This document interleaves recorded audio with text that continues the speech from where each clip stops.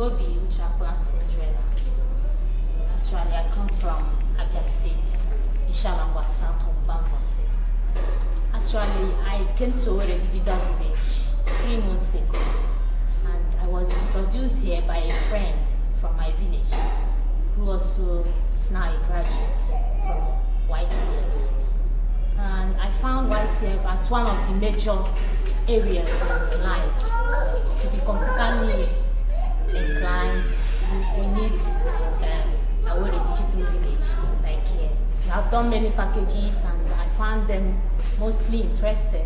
The one I found mostly interested is the PowerPoint presentation, I Excel, and Access. They helped you in my accounting work.